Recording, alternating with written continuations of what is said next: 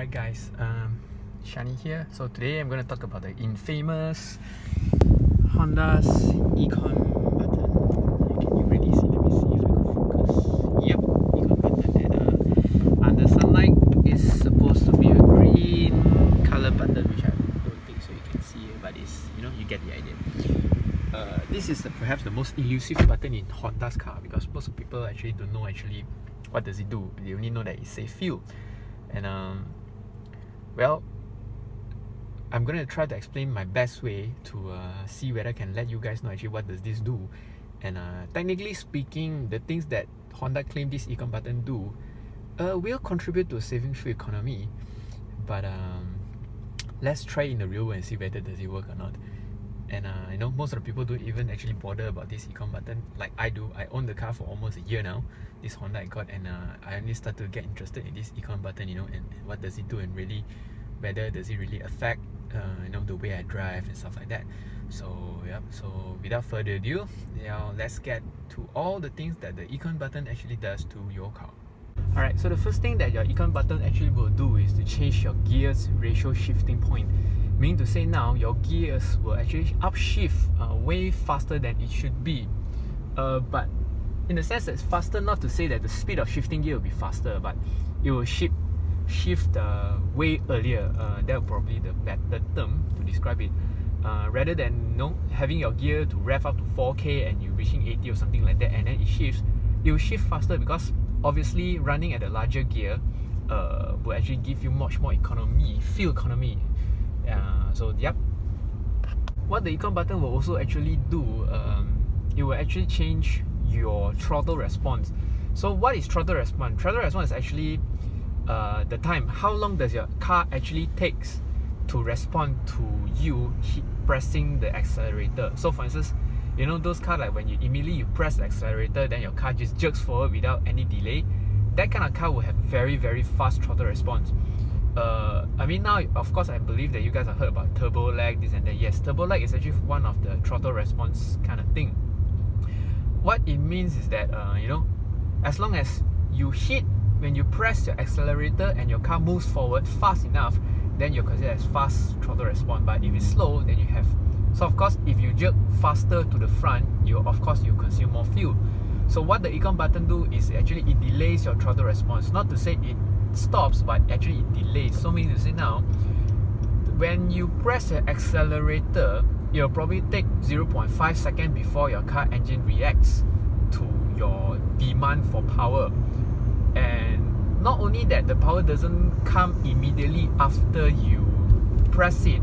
The power actually comes linear uh, rather than going like for instance you can see RPM rather than from 2 you fall all the way to 3 you see like 2 and then you go up slowly to 3 so actually it provides you with a smooth acceleration and uh, it doesn't allow you to drive like a crazy crazy man you know like swerve in and swerve out almost immediately you know that kind of thing. So yeah.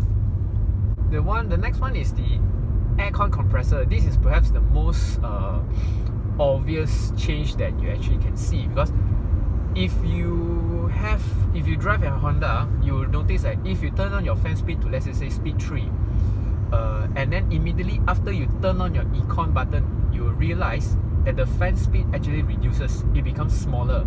I do not know actually why but it does. So it becomes uh, probably it reduces uh, the power use or something like that. And not only that it actually increases uh, the compressor from coming in and out. So we will say rather than having the compressor turning on most of the time it will now turn on for 3 seconds and then turn off for 2 and then turn off for 3 seconds turn off for 2 so means you turn off you know like those engine start car with the automatic start stop you know? Uh, Mazda's i-stop for instance when you're you, you're not moving your engine will switch off and when you start your engine will switch off back. Yeah this is something like that you know? Back days when people say hey you're wasting fuel because you're waiting and you're turning on aircon and people just turn off the aircon and wait under the hot sun and uh, you know be huffed so this is something like that but rather than turning off the compressor altogether it reduces the the, the, the running time of the compressor so that they consume less fuel. Of course this probably all this is uh, negligible but it's one of the ways Honda says that the econ button does to actually conserve fuel economy. The last one is probably uh, it doesn't really actually affects all Honda cars but only on the ones with cruise control because this is specifically referring to the cruise control and how the econ button actually affects auto cruise. So this is how auto cruise work. You run your car up to let's say 80, 80 kilometer and then you turn on auto cruise and your car will just run smoothly at 80 maintaining at the speed. And throughout the journey your car will maintain the speed of 80 uh, and whenever the car uh, detects a slow or speed or something like that you pump the rpm up and uh, maintain it. So the most common ways of a car maintain is you're going to drop the gear and then they rev the rpm and when your speed reaches the same designated speed uh, everything will go back normal. So what honda says that for cruise control when you have an econ button on what you do is this. It will delay uh, basically it will delay your response. So what happens is basically applying all the econ button features that we just talked about into a cruise control and for instance let's just say you're cruising at 80 and you come and you're reaching a incline climb a hill for instance. Naturally your car which is traveling at 80 kilometer will have its speeds reduced uh, to let's just say 80 and then 75 something like that. Naturally your auto cruise uh, car will want to maintain at 80 kilometers so what you do is it will reduce your gear so that your car can increase the RPM rev up hit 80 and then maintain at the speed but what the econ button do is this. It basically uh, restricts you. It delays the gear changes and whatnot. So let's just say rather than having an immediate change of gear to pump up your speed to 80 now with the econ button your car actually reacts slower. Uh, let's just say when you hit the hill and then your car will take probably 0.5 or 0.6 seconds longer before it will shift down and then uh, to basically push your car back up to 80 kilometers per hour the rationale behind this I understand because sometimes road isn't all you know all jolly all good. It's not going to be flat all the time. Sometimes there'll be some uphill and downhill. So what Honda does is this.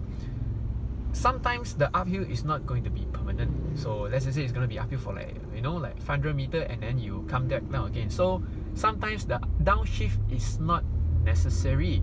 So if they did not set a delay time a delay response time your car will downshift upshift downshift upshift immediately when it detects uh, incline or decline. So this is actually very bad for consumption. It's like you keep on shifting down your gear from 2 to 1 1 to 2 2 to 1 like that.